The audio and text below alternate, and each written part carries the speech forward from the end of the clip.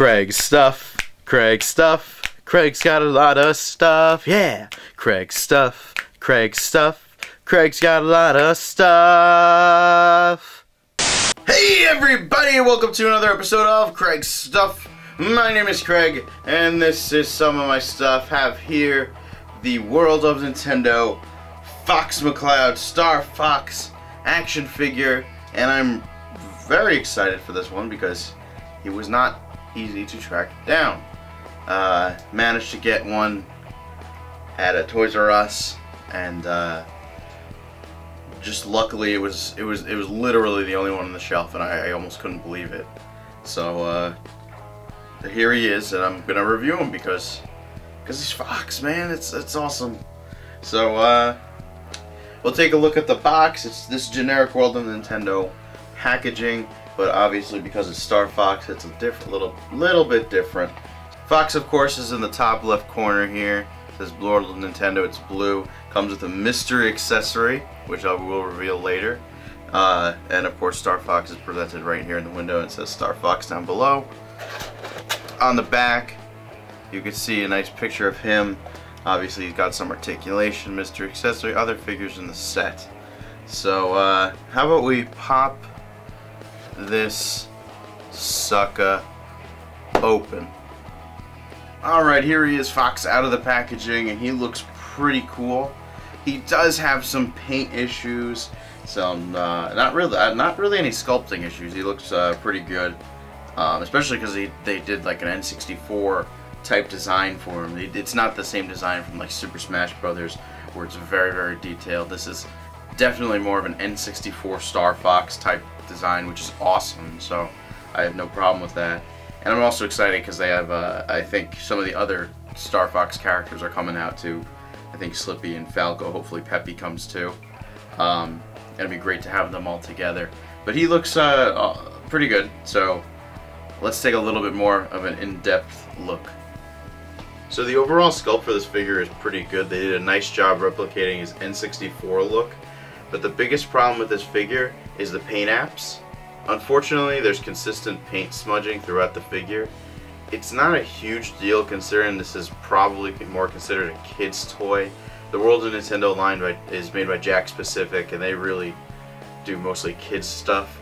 And, and they're marketed for kids. I mean, they're they're putting Toys R Us and Nintendo aisle with other kids' toys with Pokemon and stuff. So it's not really a collector toy.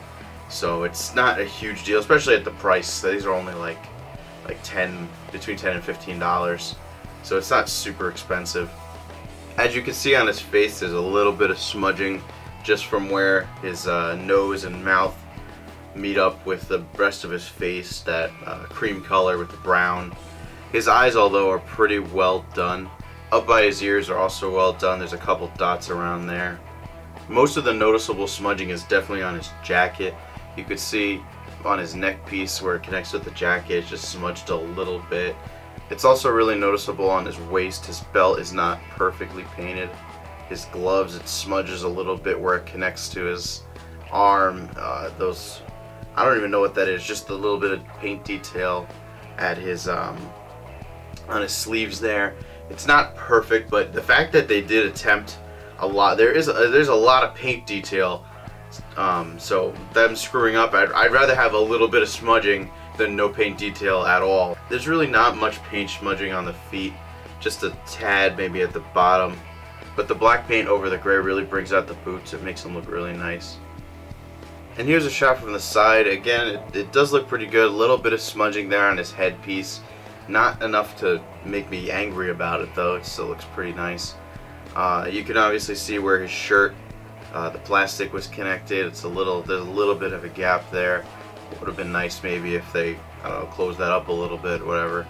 Uh, again, you can see a little paint dot on his sleeve there. Moving down, we see the rest of his sleeve with that like turquoise color.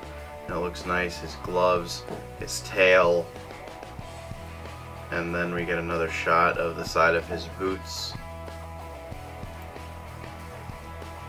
Overall though, very nice.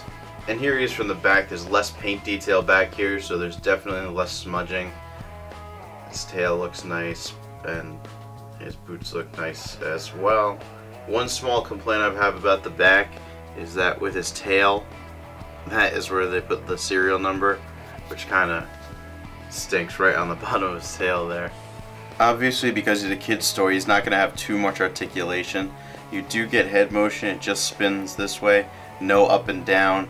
Shoulders move up to about here, spin all the way around. You get a single jointed elbow, does not spin at the wrist, spins at the waist. Legs do go out a tad, just a very little bit. They go back a little bit as well, and they kick forward just a tad. You get a single jointed knee, which goes back about that far, and his ankle goes up and down, and there is no ankle pivot. And he spins at the knee. And the best part is his tail goes up and down as well. Fox doesn't stand too tall, only a little over four and a quarter inches. Alrighty, and last but not least before we go, I almost forgot his mystery accessory. Drum roll, please. Dum.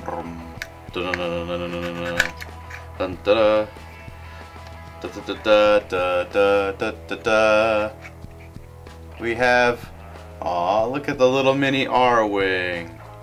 How cute. How adorable.